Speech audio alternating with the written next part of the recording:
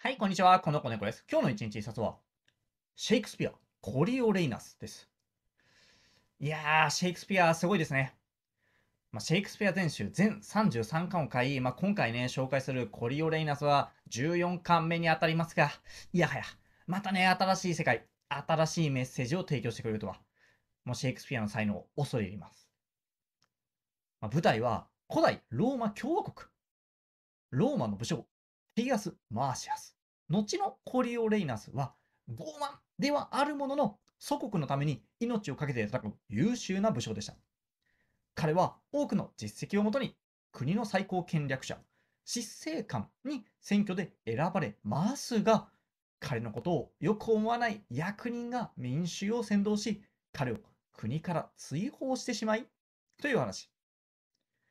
まあ、本社はね、なかなかに面白い。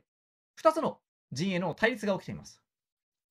一つ目は、コリオレイナスの陣営。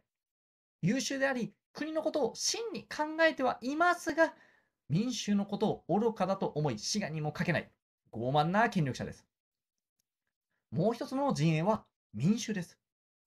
彼らは古代ローマ共和国においては政治の主体です。権力者は彼らの指示がないとその力を振るうことができません。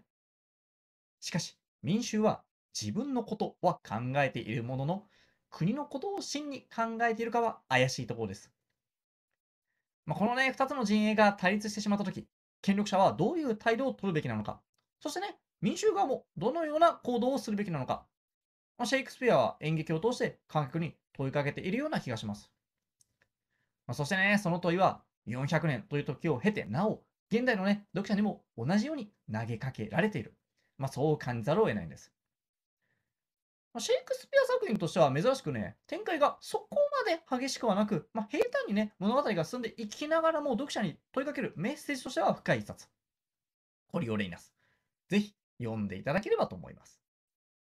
と、このようにこのチャンネルでは毎日一冊おすすめ本を紹介していますので、気に入ってくれた方はぜひ高評価やチャンネル登録、コメントいただけると嬉しいです。